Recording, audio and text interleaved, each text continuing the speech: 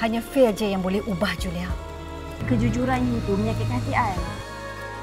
Macam mana kalau dia masih ada lagi perasaan cinta dekat Firhan? Bukan ketugas Farhan sepatutnya didik perasaan cinta tu. Kan? Kau? Adi, Kau kan? Bu, jangan kacau anak aku. Apa nama merayu dekat you?